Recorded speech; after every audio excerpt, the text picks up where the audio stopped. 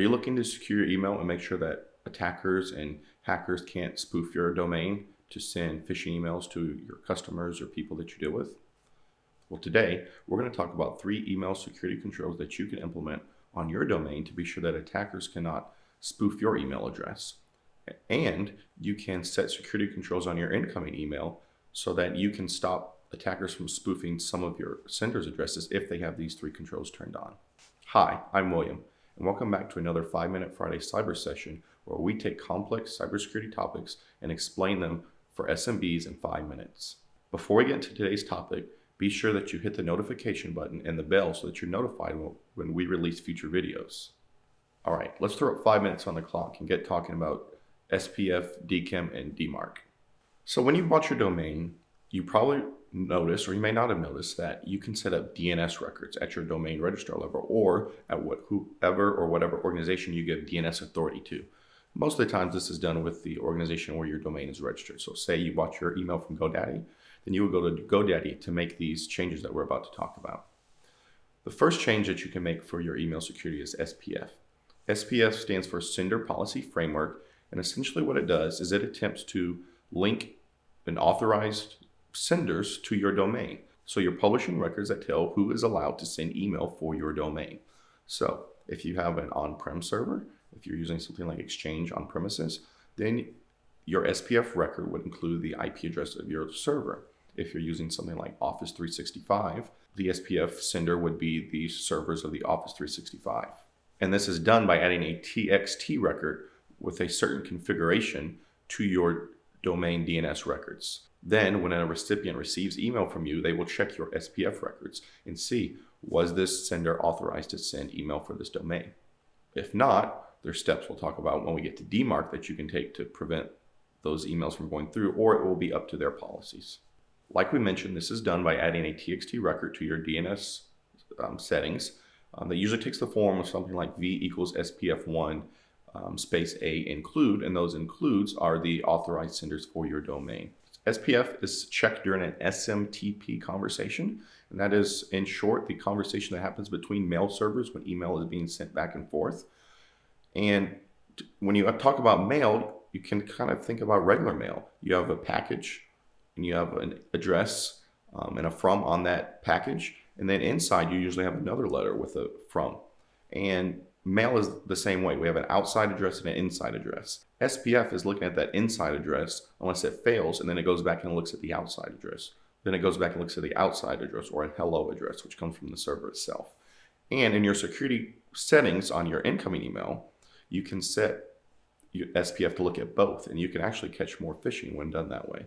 Okay, the second control we're going to talk about is DKIM. DKIM is domain keys identifying mail. And in short, DKIM is uses signatures to link email back to a domain. Um, if you understand anything about cryptography, you know public key cryptography, um, where we have a private key and a public key, and those two work together to decrypt the messages. Um, you send a message that has been encrypted with your private key, and then someone with your public key can decrypt it. DKIM works very similar to that. So what happens is the sender attaches a signature to that email that the recipient can then check to verify that it, that mail has not been altered and is actually from who it says it's from. Because if it is encrypted or hashed, in the case of DKIM, because that's what it does, is it takes the um, email from in the body and it hashes them, then the recipient uses your public key to do the same and compares it to see if they are valid. It's really sort of like a watermark for email. It verifies that it's not been changed along the way and it is from who it says it's from. So again, like we said, DKIM is very signature to dig digital signatures. And here's what happens during the DKIM process. The process gets rid of all the extra parts of the email, uh, everything that's not needed, important. It gets down to the bare bone components of the email.